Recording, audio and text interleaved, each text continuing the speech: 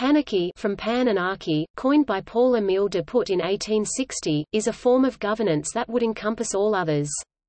The Oxford English Dictionary lists the noun as chiefly poetic, with the meaning a universal realm, citing an 1848 attestation by Philip James Bailey, the starry panarchy of space. The adjective panarchic, all-ruling, has earlier attestations. In the 20th century the term was recoined separately by scholars in international relations to describe the notion of global governance and then by systems theorists to describe non-hierarchical organizing theories.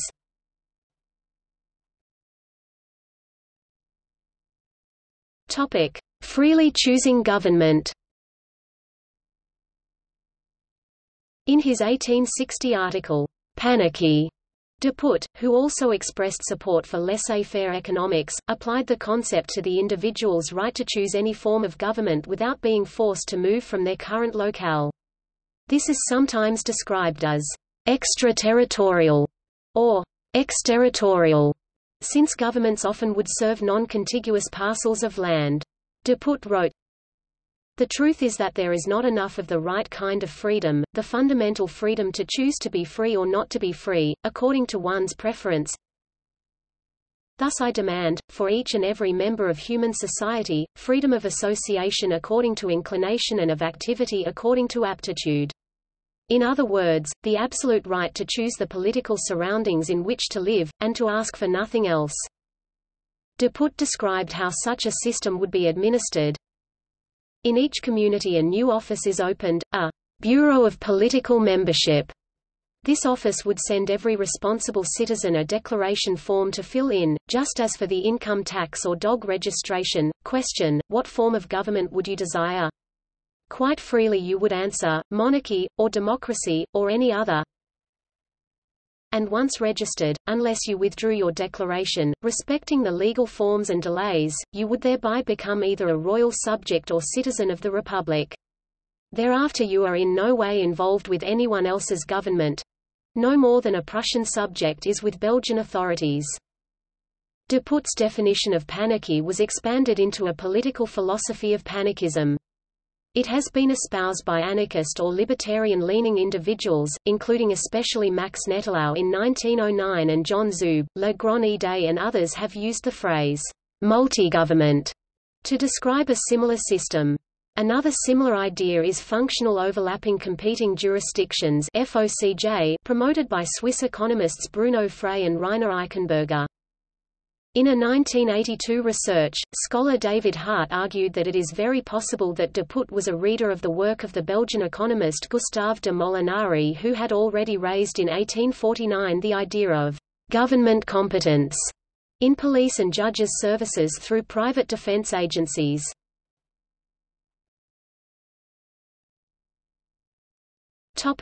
Global society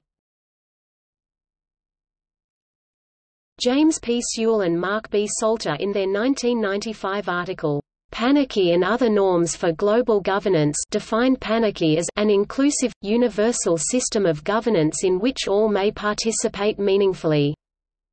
They romanticize the term by mentioning the playful Greek god Pan of sylvan and pastoral tranquility, overseer of forests, shepherd of shepherds and their flocks.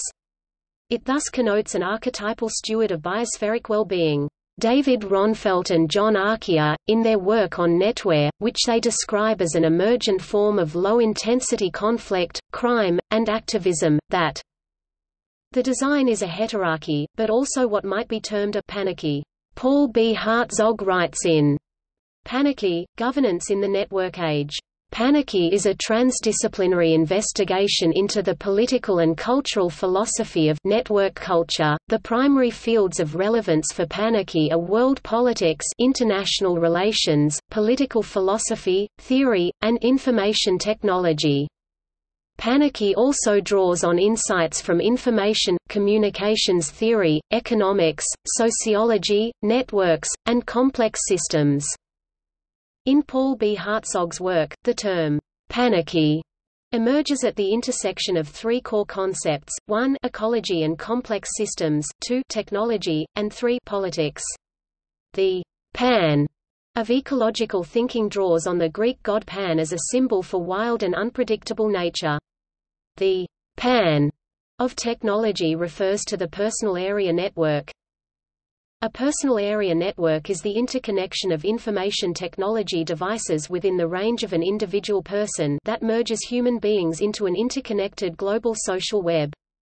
The pan of politics refers to the inside-outside distinction, and how, in an era of global challenges and global governance, the frame of reference for a global social has no outside.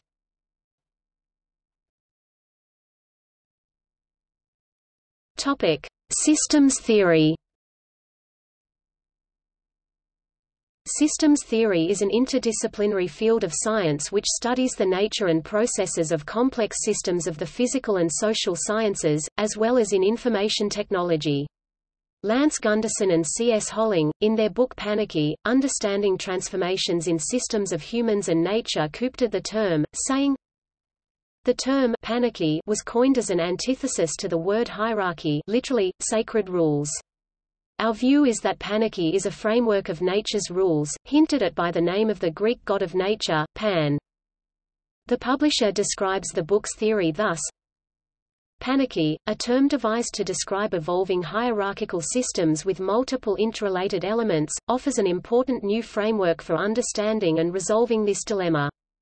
Panarchy is the structure in which systems, including those of nature e.g., forests and of humans e.g., capitalism, as well as combined human-natural systems e.g., institutions that govern natural resource use such as the Forest Service, are interlinked in continual adaptive cycles of growth, accumulation, restructuring, and renewal. In Panarchy Gunderson and Holling write the cross-scale, interdisciplinary, and dynamic nature of the theory has led us to coin the term panarchy for it. Its essential focus is to rationalize the interplay between change and persistence, between the predictable and unpredictable.